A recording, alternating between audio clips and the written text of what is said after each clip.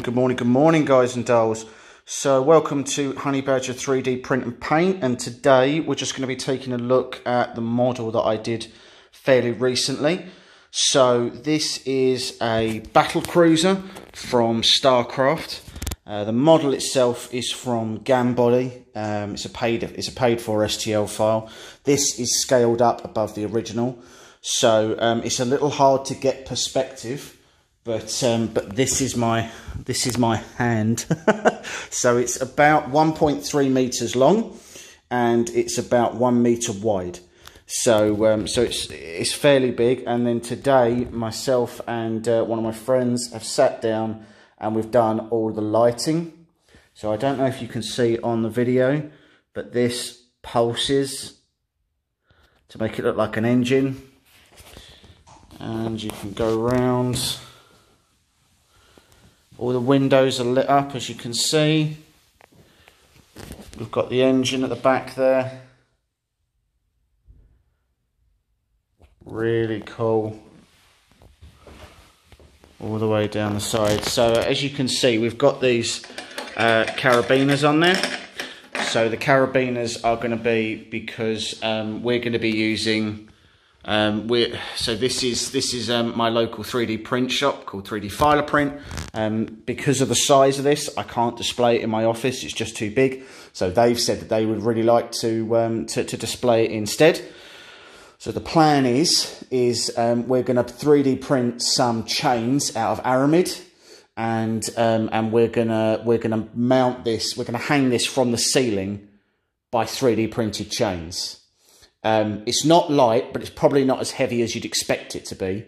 So um, the whole thing is hollow. Um, it comes like that, um, and all the channels are already done so that you can do all of the lights and everything else. Um, the whole thing is printed in PLA, and it's all printed on home machines. So this was printed on a combination of uh, an Everyone Thinker um, and a Lulzbot Taz 6 and I think I still had my Geeetech A30 at the time that I was doing this. Um, that's since been moved on and, and sort of broken down for parts and things. Um, it's about 3,000 hours all in across the machines that I did it on. Um, the only things that aren't PLA are the uh, the engine parts are done in a blue PETG and the uh, and the windows are done in a clear PETG just so that it's all uh, just so that it was transparent and it was the PETG was just the best thing I found to to to, to do for that. So um, round the back where the engine is, we actually fitted magnets to this. So this whole piece actually just pulls out and you can see that there's a big magnet there and then there's magnets there that hold it on. And that allows us to access the inside of the ship if we ever need to access the wires or anything. Um, and then we've just got it just goes to a power brick. Um, there's 10 meters of led strip that are on the inside.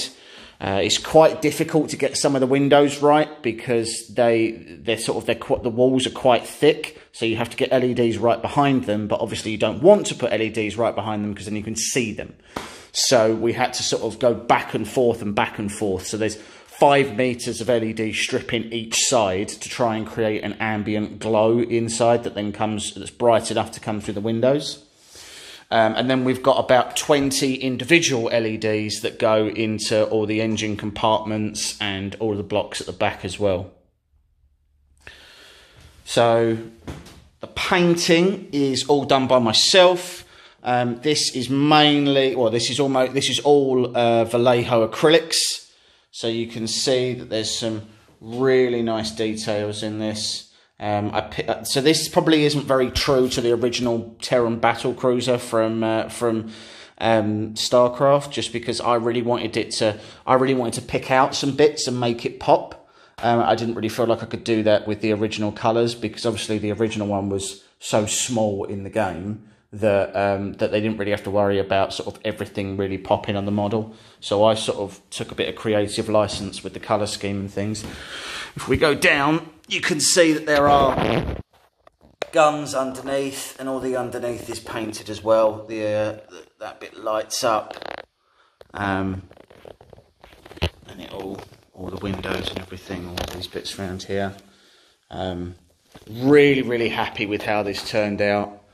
Um, it's quite hard doing large models sometimes because what would have been a, a one millimeter gap on the model as it was originally uh, decided um, ends up being a 10 millimeter gap when you go when you go really big when you scale it up um, so some pieces I've had to cut keys off and things like that.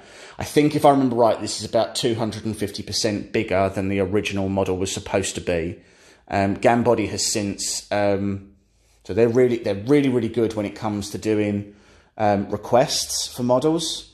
So um, if you've bought a model, you can actually message them and just say, oh, this doesn't work or this doesn't fit. And they will, they will amend it and re-upload it. And recently, they've actually done a stand for this as well, um, which when at a regular size, the stand looks really, really good.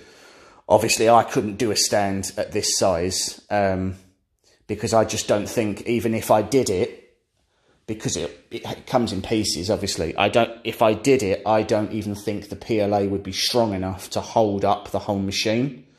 Um, uh, sorry, the, the the whole ship like um, I, I, think it would end up breaking.